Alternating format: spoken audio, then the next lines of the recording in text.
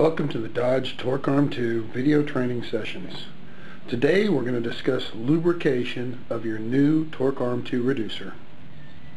As you'll see in the upcoming clip, every torque arm reducer coming off the paint line in the Greenville gear plant has a lubrication tag attached to the breather. In addition to that, they now have a tag that lists the lube kit that would be compatible with each size. All the reducers coming off the paint line at the plant have a lube tag attached to the breather before they're put in the box. Every Torque Arm 2 reducer's lube tag shows two things. It shows the position of the gearbox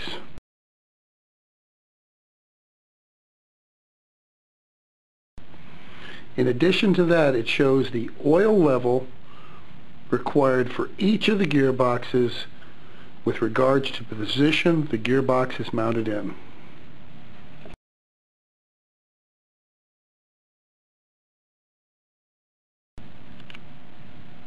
On the other side of the tag, it shows the reducer size and the oil viscosity required for each speed range and temperature range that this reducer may be run under.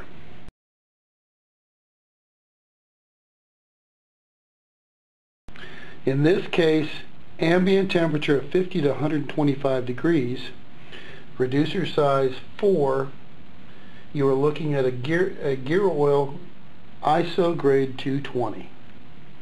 Now what does that mean? In the back of the Torque Arm 2 section, in the catalog there's a crossover that shows the different viscosities. An ISO grade 220 gear oil is an AGMA grade 5. Well, what's an AGMA grade 5? It's a 90 weight gear oil. So a 150 or a 220 is a 90 weight gear oil.